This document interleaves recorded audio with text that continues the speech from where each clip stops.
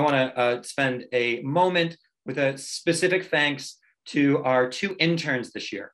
Um, now, Mass Bike is a small organization. We have a volunteer board of around eight so far, hopefully growing next year, and a staff of two and a half with Jess and Crystal and myself. But this year we were able to bring on the power of two amazing, dedicated, wise, uh, and just really intelligent advocates.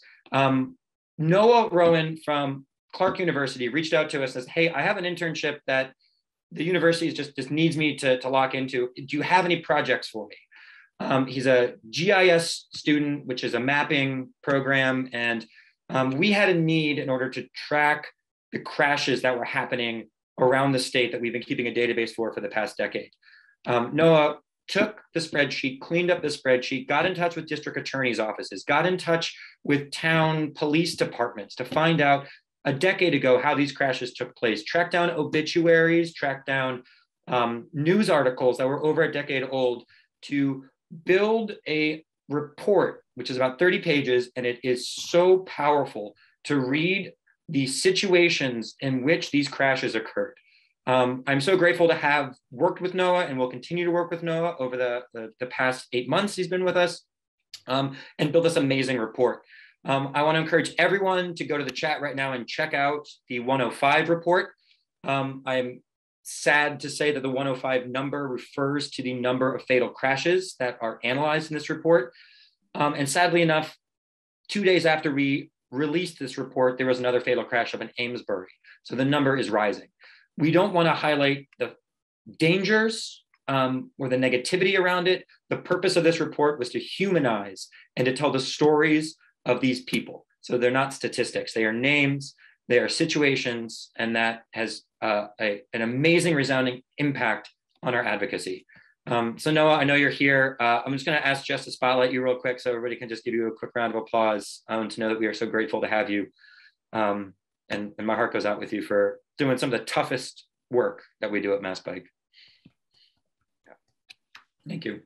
Um, our other amazing intern, we touched on it briefly with the Arlington um, side, but Petru um, Sofio, who approached Mass Bike um, as a high school sophomore, now a high school junior, um, with ideas on how to build better infrastructure on the road that he crosses twice a day to go to and from school. There was a fatal crash two years ago.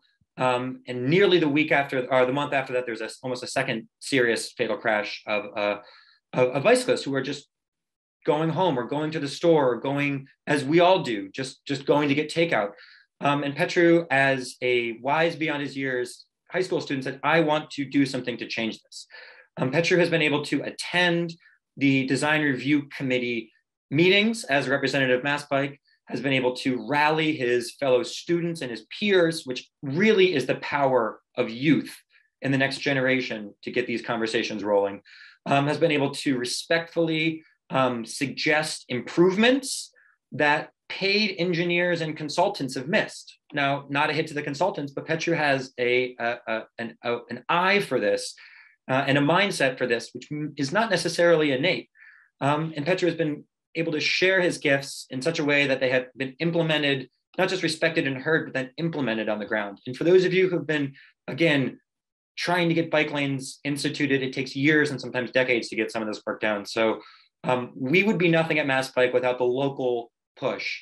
And so we are super grateful to be able to have brought Petru on as an intern um, who's still going to continue the work in Arlington and beyond to make sure that the uh, Safe Cycling Network not just is better for him and his fellow classmates, but that we are building an equitable and safe um, and just bike friendly environment um, in Arlington and beyond. So, uh, Petru, if you're on, I'm going to ask Jess a quick do a highlight for you and um, just to say thank you so much for all the work out there. I'm grateful to have you.